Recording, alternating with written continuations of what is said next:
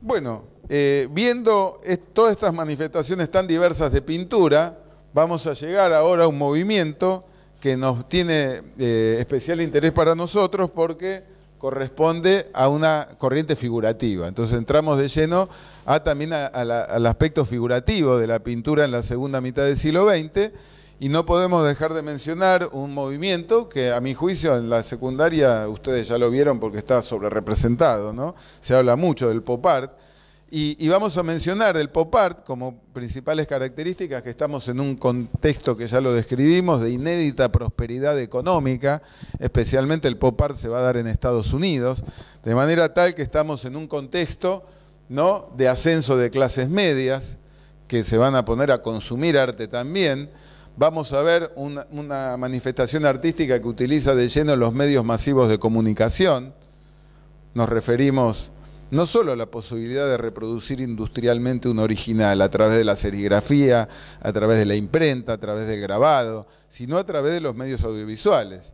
Eh, una imagen se puede multiplicar por millones de veces a través de la televisión, a través del el video, que ahí están las primeras experiencias en video, y, también vamos a ver justamente la interacción entre el mundo del diseño y la publicidad y el arte. Ustedes que estudian diseño o los que estudian turismo también, eh, yo siempre recuerdo el famoso análisis de Humberto Eco en Apocalípticos Integrados, que decía que así como a lo largo del tiempo la historia del arte influye sobre el diseñador, hemos visto en la clase pasada cómo Mondrian influyó en Yves.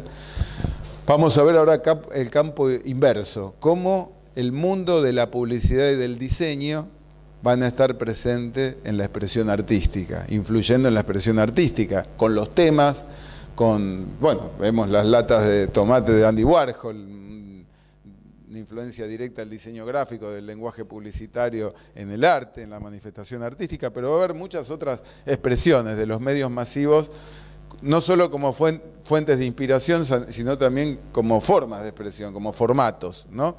Y los temas van a ser los iconos de la sociedad de masas. Vamos a ver que también como en, el sistema este de promoción de Hollywood aparece la, la modalidad del, sistema de estrellato, de concentrar todo en la personalidad de una figura, transformarla en un producto de consumo, donde el espectador o el consumidor, ¿qué es lo que va a consumir? La vida privada y pública de una determinada personalidad. Entonces hasta la, hasta la conducta humana se transforma en una mercancía, ¿no? Bueno, eh, el arte también va a tomar temas triviales, es decir, vamos a fijarnos en podríamos decir, eh, eh, monumentalizar lo frívolo o lo trivial o lo olvidable. Los temas que son absolutamente intrascendentes de nuestra vida cotidiana se van a transformar en temas de la expresión artística en el pop art. Bueno, y el dibujo y el color, por supuesto, va a tener que ver con el lenguaje del cómic, con el lenguaje del cine, de la televisión. Y, y si empezamos a ver obras, me gustaría mostrarles algunas obras muy reconocidas. Andy Warhol cuando reproduce en serigrafía la imagen de Marilyn Monroe nos está diciendo también se pueden apilar como latas de tomate, ¿no? Eh, la vida humana, el personaje, ¿no? Para su, para su consumo masivo. Fíjense, ¿ustedes saben lo que es una naturaleza muerta? Bueno, cuando un pintor elige temas comunes y corrientes, para no distraernos con el tema. Es decir, Picasso cuando quería ponerse a experimentar con la forma, no pintaba a Sócrates bebiendo la cicuta, porque nos, distraería en un tema importante.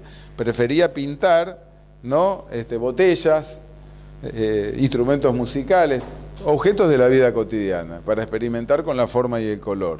Eso es una naturaleza muerta. En, el pop art, fíjense cuáles son los elementos de uso cotidiano de una naturaleza muerta, ¿no? Los productos de consumo masivo que nos hablan del bienestar de la sociedad americana. El estilo de vida americano es uno de los principales temas del pop art, ¿no?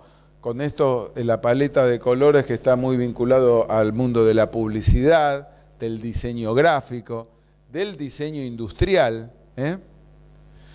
Podríamos ver también la importancia que van a tener las marcas. Fíjense esta otra obra, ¿no? parece que fuera la composición academicista o tradicional de una naturaleza muerta, pero los elementos que se toman son el mundo de los productos de consumo masivo, el mundo de las marcas, pasan a ser el entorno cotidiano del ciudadano, de la clase media en ascenso, ¿no? Entonces, de alguna manera, podemos decir, es una celebración de este mundo consumista o es una parodia, ¿no? Depende cómo lo interpretemos.